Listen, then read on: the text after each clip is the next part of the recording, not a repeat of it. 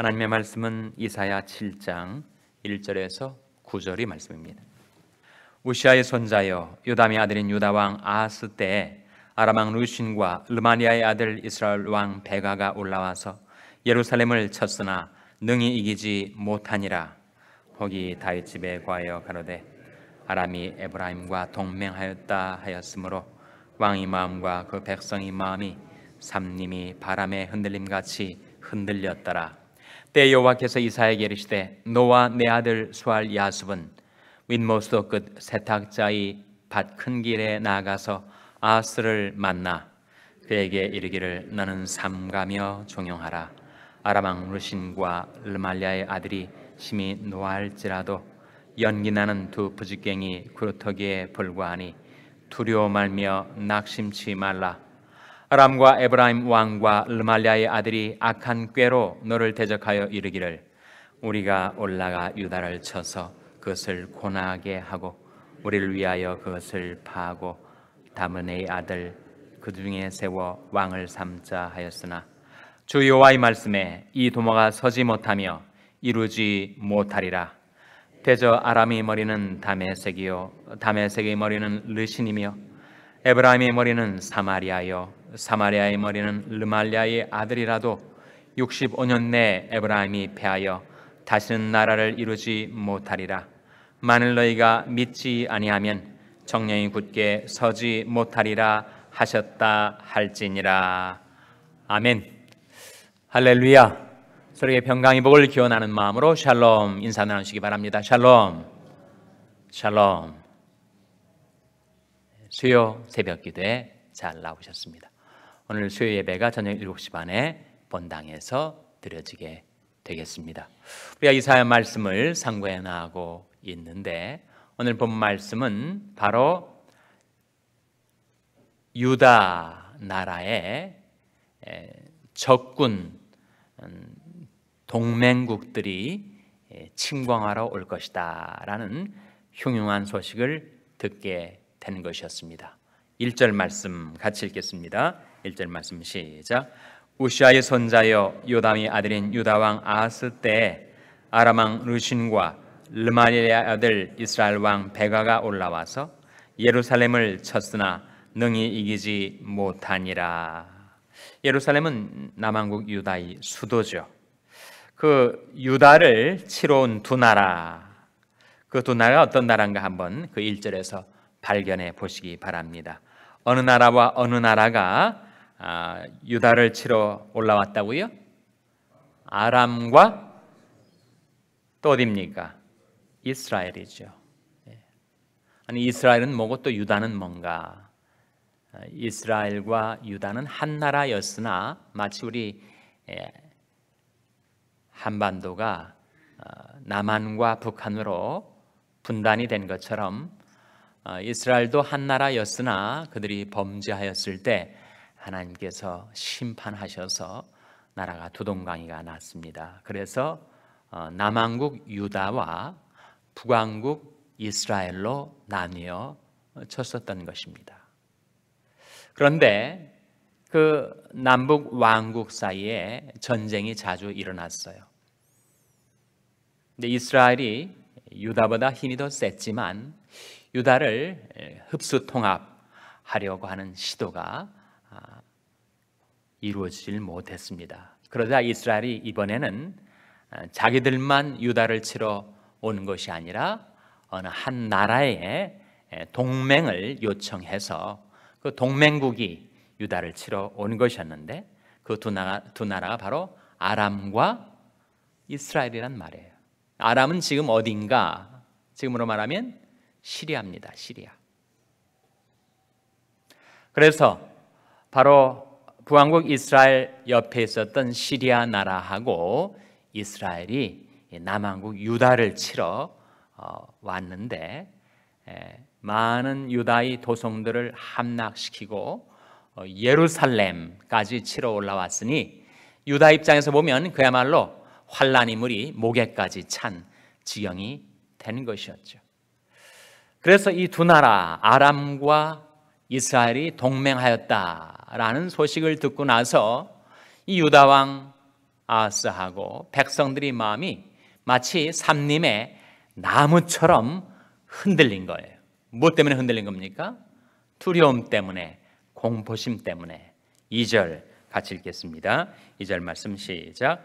혹이 다윗 집에 과하여 가로되 아람이 에브라임과 동맹하였다 하였으므로 왕의 마음과 그 백성의 마음이 삼림이 바람에 흔들림 같이 흔들렸더라. 그 두려움, 그 공포, 그 강대한 나라 아람과 에브라임은 이스라엘 말하는데 아람과 에브라임이 동맹하였으니까 우리는 이제 꼼짝없이 죽었구나. 그 무서운 생각, 두려운 마음에 왕과 백성들의 마음이 마치 삼림에 흔들리는 바람에 흔들리는 삼림의 나무처럼 그렇게 흔들렸다는 거예요. 하나님께서 그것을 지켜보신 거예요. 그래서 이사야를 급파하신 것입니다.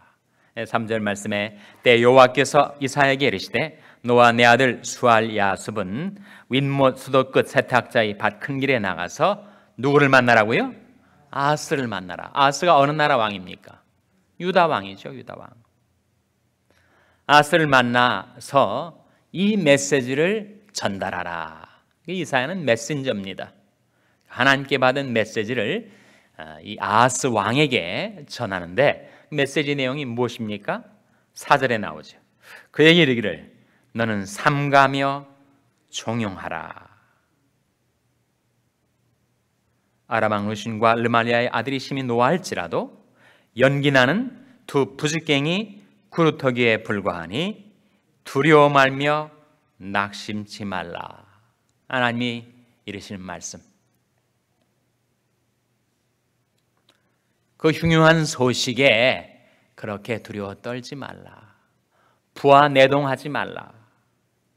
아무리 그 두 나라의 세력이 강성해 보일지라도 마치 못과 같다고요?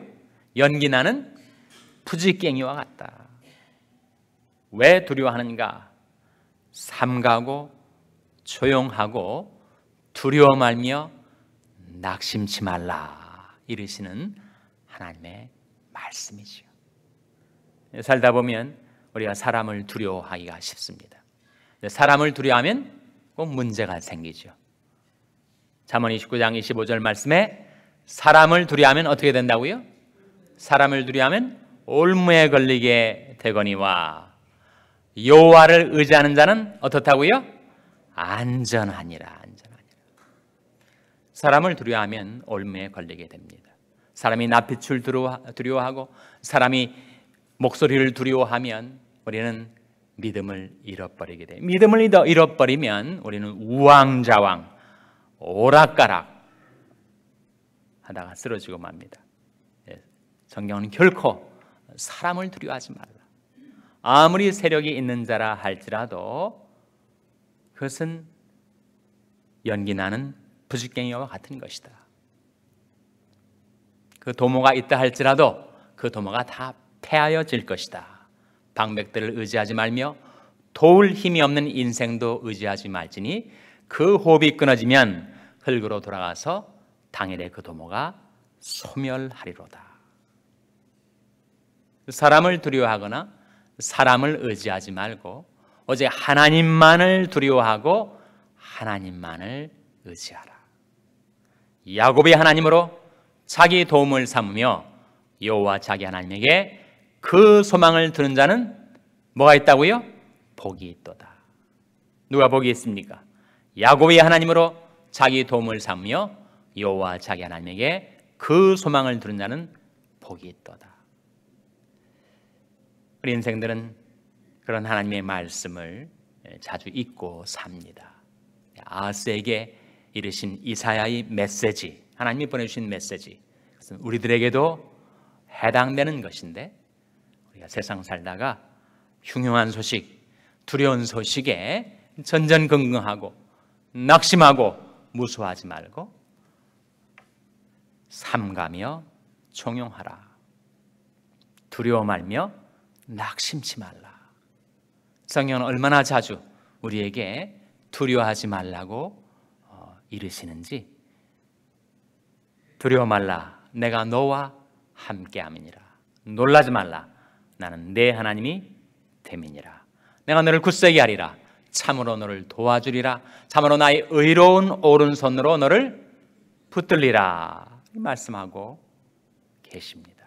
그래서 이 두 동맹국 바로 아람과 이스라엘이 동맹을 맺고 우리가 반드시 유다를 무너뜨리자, 침공하자, 유다를 삼켜버리자라고 맹약하고 도모를 세웠으나 하나님이 보실 때 그 도모는 결코 서지 못할 것이다 라고 이사에게 말씀해 주신 것입니다.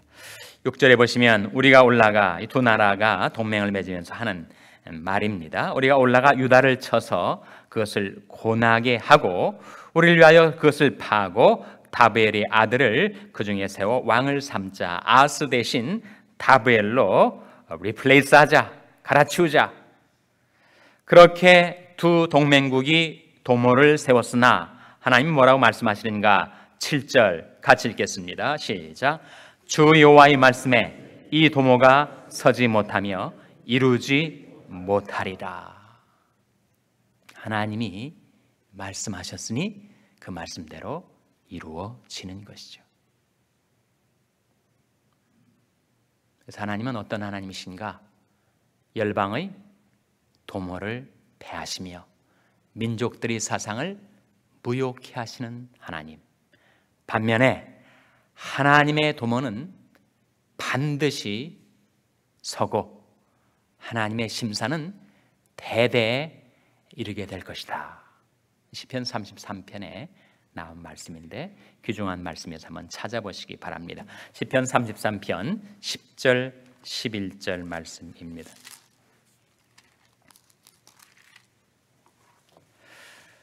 구약 성경 824면 시편 33편 10절 11절 말씀